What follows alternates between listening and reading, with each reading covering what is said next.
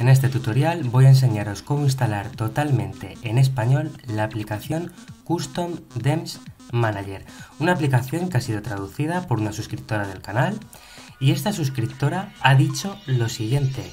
Cuando me propuse hacer este proyecto me sorprendió que no se hayan hecho traducciones de esta aplicación que nos permite instalar temas en PlayStation Vita y me dije, si nadie lo ha hecho, yo lo haré. Gracias por tu aporte porque gracias a ti todos los usuarios de PlayStation Vita, españoles y latinos, vamos a poder disfrutar de esta aplicación en español.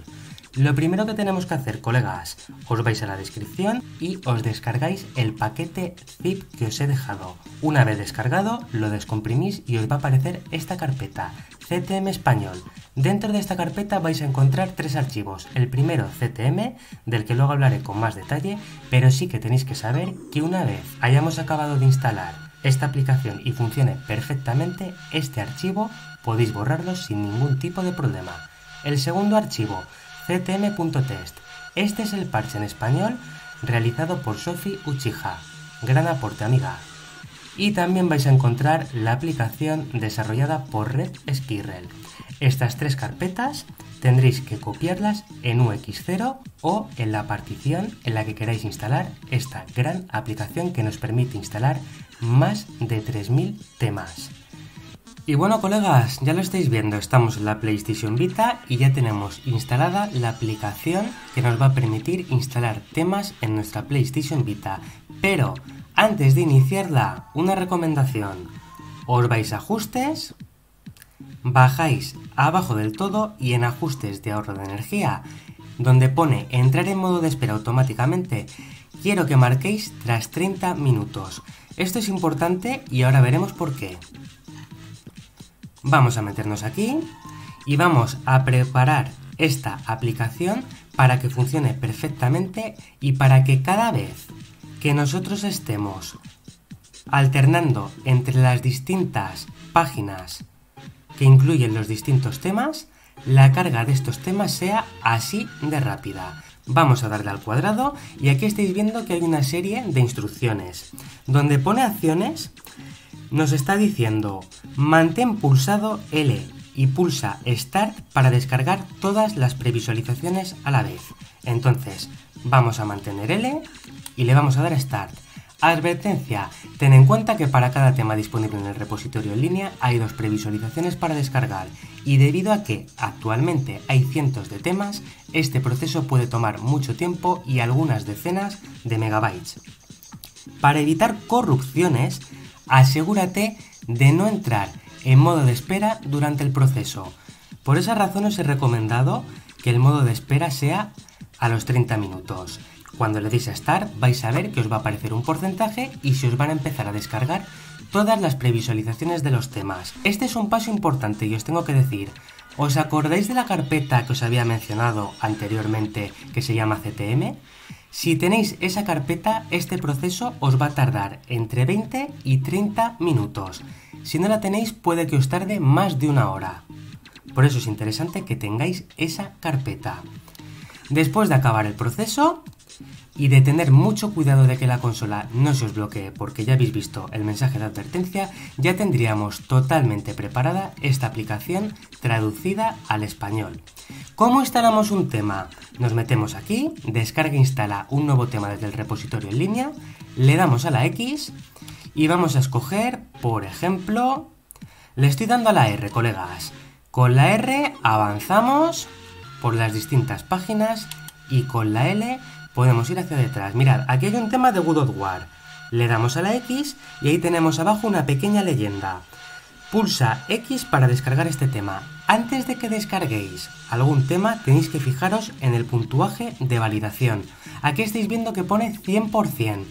Si vais a descargar un tema y veis que el porcentaje de validación es inferior a 100%, no la descarguéis porque os puede dar problemas. Solamente descargaros aquellos temas que tengan un puntuaje de validación del 100%.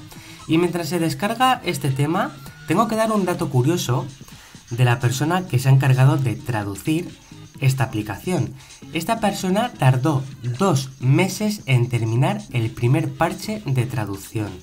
Este es el segundo parche de traducción y es una actualización en la que corrigió algunas líneas y encuadró algunos textos que quedaban cortados en la pantalla.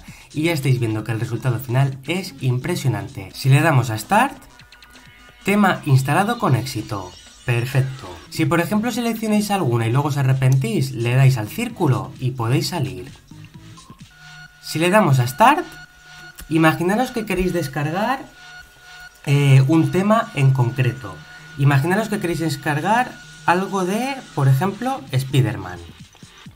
Voy a poner Spider, le doy buscar y fijaros, aquí nos aparecen un montón de temas relacionados con el trepamuros más famoso de todos los tiempos. Yo voy a seleccionar, por ejemplo, este de aquí. Y fijaros, si le dais a la R, podéis ver la previsualización de cómo se os va a quedar la consola con este tema. Le vamos a dar a la X para que se descargue. Esperamos un poquito. Y es que aquí ya en este punto solamente tenemos que seguir las indicaciones de la aplicación traducida por nuestra amiga Sofía. Una auténtica pasada. Ya la tenemos, entonces le damos a Start si queremos tener este tema instalado y le podemos dar al círculo para cancelar la instalación y eliminar los archivos extraídos. Voy a darle a Start, tema instalado con éxito, pulsa cualquier botón para continuar. Me voy a ir para atrás. ¿Cómo instalamos estos temas que acabamos de descargar? Muy sencillo. En esta opción que tenemos aquí que pone aplica un tema instalado, le damos a la X y por ejemplo vamos a seleccionar este de aquí, Good War. Le damos a seleccionar, vamos a salirnos de la aplicación. Y como podéis ver ya tenemos el tema de Good War. Ahora imaginaros que queremos cambiar, pues no hay ningún tipo de problema, volvemos a iniciar la aplicación. Y es que ahora me apetece poner el tema de Spider-Man. Pues nos vamos aquí, le damos a seleccionar, salimos de la aplicación y ya tenemos el tema de Spider-Man. Si por ejemplo, imaginaros que queréis eliminar algún tema. Imaginaros que yo quiero borrar el de Spider-Man. Lo primero que tenéis que hacer, cambiáis el tema. Por ejemplo, voy a poner este. Y una vez cambiéis el tema, lo que tenéis que hacer es iros a esta opción de aquí, desinstala un tema. Le dais a la X y yo quiero desinstalar este. Le damos también a la X y fijaros que si le dais al cuadrado, ahí tenéis todas las instrucciones perfectamente traducidas al español. Quiero desinstalarla, por lo tanto aquí pone pulsa Start para desinstalar completamente este tema. Le damos a Start. ¿Estás seguro de que quieres desinstalar este tema por completo? Pulsa Start para continuar o cualquier otro botón para cancelar. Le damos a Start y el tema ya se ha desinstalado. Antes de desinstalar un tema, os aconsejo que si lo tenéis puesto, cambiéis el tema y lo desinstaláis y así os evitaréis algún que otro problemilla. Por comentaros más cosas. Con el Select podemos cambiar el modo de previsualización. Vamos a darle a Select y te podemos elegir entre lista, ya lo estáis viendo, le doy al círculo para salir, voy a volver otra vez a darle a Select, también podéis elegir cuadrícula pequeña. En vez de tener 6 temas previsualizados, vais a tener todos estos temas. Y poco más colegas, esto ha sido todo, espero que la disfrutéis y de nuevo gracias a Sofi Uchija por este gran aporte.